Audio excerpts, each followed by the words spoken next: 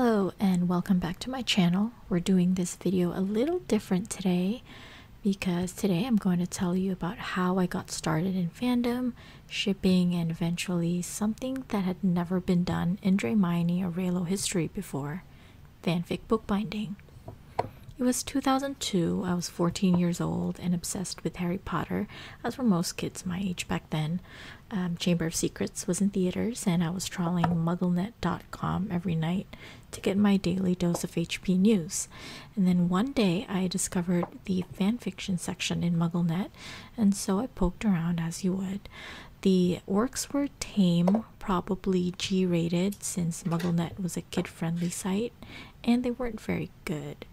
Now, this wasn't my first foray into fan fiction or even non explicit fan fiction. You know, I started reading uh, fics way back around 2000 when we got our first family computer at home. It was an ancient thing that ran on Windows 98 and had to be hooked up to the internet via dial up and prepaid cards. And, you know, sometimes I even miss the sound of that modem trying to connect. And sometimes I shudder at the memory of having to disconnect because someone in the house had to make a phone call with a landline. Some of you don't even know the struggle of having to wait three hours to download one song through LimeWire, hoping you don't torrent a virus or a crappy live concert recording, you know, but I digress. In 2000, I was already reading fanfiction from my favorite anime shows um, Rurouni Kenshin, Fushigi Yugi, Slam Dunk, Flame of Recca, uh, from either fanfiction.net, Yahoo groups, or self hosted fan sites. You know, the GeoCities and Lycos and Xanga and gosh, I'm so old. But fast forward to fanfic on MuggleNet two years later, I ran into one where I don't remember the title or author, but the Hogwarts students were given journals, which they would then use a la Riddle's diary to chat with another student anonymously.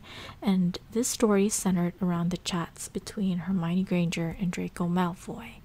But like I said, MuggleNet fics were kind of lame and lacking, so I turned to Yahoo Search because this was before Google was the search engine, and I found LiveJournal. And this is when my first 18 year on again, off again love affair with Hermione began. LiveJournal is no longer the same LJ used to be back in the early aughts. It's now this weird site that's been taken over by Russian bots or something. But the communities I frequently uh, visited are still up. They're they've been abandoned, I think, or someone checks it now and then, but it, they're still there. Dramione and DMHG Fic Exchange um, were those two communities. I used up so many prepaid internet cards just going through those communities and reading fics and looking at fan art and, and interacting with fellow readers and writers. You know, eventually it clicked in my head to copy and paste from LJ and FFN to Word in case my card ran out and internet got cut off. So at least I could read the fics offline. I never printed them though, um, mainly because we didn't have a printer at home and it didn't seem like um, a sustainable way to read fanfiction in secret as a young teenager. It was in LJ where I saw the rise of the OG authors like Floor Coaster, Music, Akasha the Kitty, and the departure of greats like Every Thursday or Sage, Gravity, and BK11. Almost hand in hand with LJ was our use of Colored Gray or Contra Veritas, a fanfiction archive for the more adult works, which sadly went down due to hosting issues and never got back up. We lost so many great works during that crash. I was there for the creation of Hawthorne and Vine. I participated in the DMHG Fic Exchange and was a part of the team behind the Dramione Awards. I was everywhere, and this went on for about a decade, even surviving Twilight, where I briefly obsessed over Jacob and Bella, or Pirates of the Caribbean, where I was into Jack Sparrow and Elizabeth Swann. There was even a time when I shipped Hermione and Fred Weasley because I had a huge crush on James Phelps, not Oliver, James. They're they're twins, but there's I can see a difference. Anyway, um but despite all of the other ships, I always went back to my OTP, Dramione. But life has its plans, and I got super busy with school. I moved to the US, attended the local college, and also began to date and party. I got my AA in graphic design, worked during the day from 8 to 5, and partied hard until 2 a.m. Repeat process. There was barely any time to read fan fiction, and this coincided with the slow downfall of LJ, community breaking off to join this new thing called Facebook and the emerging website called Archive of Our Own. And then life mellowed out, and when I logged back into LJ in the mid 2010s, it was no longer the busy, sprawling community it once was. Fics were still on FFN, so I read those, but the interest was kind of waning. And then I got pregnant at the end of 2018, and this was when I started to get back into reading Dramione fanfiction again. By now, LJ was long dead, and in its severed head sprouted Facebook groups where anonymity wasn't as big of a deal. I read Manacled throughout my high risk pregnancy and gave birth shortly before the fic ended, so I could really empathize with her Hermione's plight in that story, although mine was less, much, much less traumatic.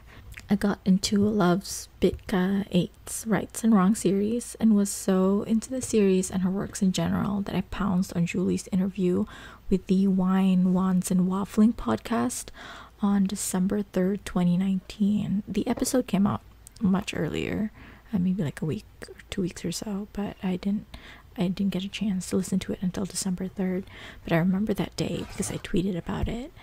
Um, and in it, Julie mentioned Everso Reylos fic Willing, which was obviously a Reylo fic.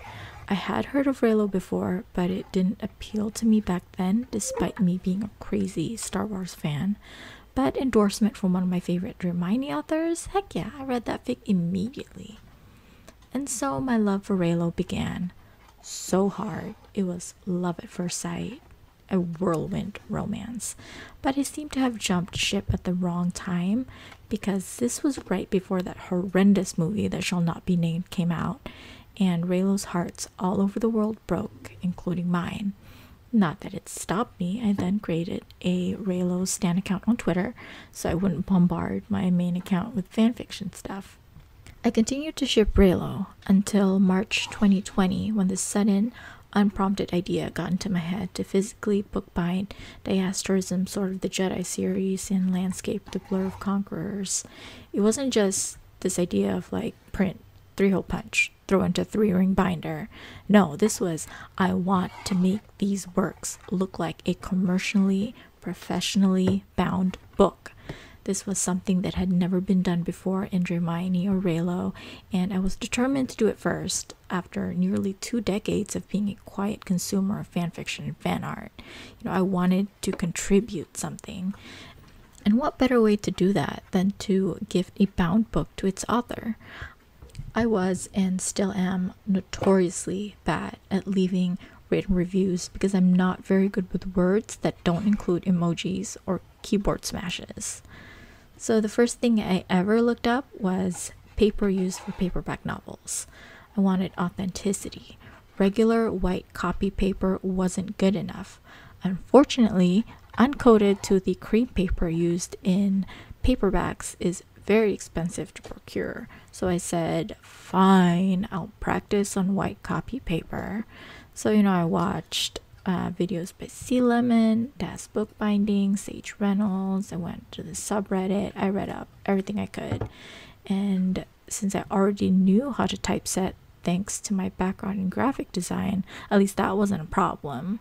You know, I bought the supplies. It took me two weeks to complete my first book, which was Sword of the Jedi. It rests between the mattress and nightstand on my boyfriend's side now because I've been nagging him to finish reading it. He still hasn't, but one day he will. Since March 2020, I've made 100 books. I've refined my techniques, moved on from white paper to cream paper, applied spine titles using vinyl, yet another thing that's never been done before, and at least in the bookbinding circles that I've um, joined. I started rounding and backing. I've learned how to trim the edges, and now planning on incorporating embroidery on book cloth so I can decorate the spines and covers sometime in the future I'll be doing leather bound books too. it's expensive, but I already know I'm gonna end up doing it anyway. I've expanded from Twitter to include Instagram, Ko-fi or Commission Intake Happens, Patreon, TikTok, YouTube, and Tumblr. And recently I got a domain which is fanficbookbinding.com. It right now it redirects to my card, uh, which it, where you can find all the details for commissioning a fan binding. But eventually, I'll develop that site into something that's a little bit more cohesive, more details and samples of my work. But in the meantime, you can also search the hashtag um, hashtag fanfic bookbinding, which is um, something that I've been using for all the works that I post. When I started using that hashtag, no one else had been using it before, so I kind of took it as mine. Not that I can stop anyone else from using it too, but just letting you know if you want to see my works, that's probably where you can find it in most platforms. So it's been quite a journey these past seven months. I've sent so many books to so many authors and readers, and that's the joy I get from making books for free. And yes, I know commissions require money, but those are spent for materials and shipping my time and the craft is essentially for free, so I make no profit. And I hope to keep doing what I'm doing, and hopefully, you'll still be here for the ride. Thank you so much for watching, and see you next time. thank you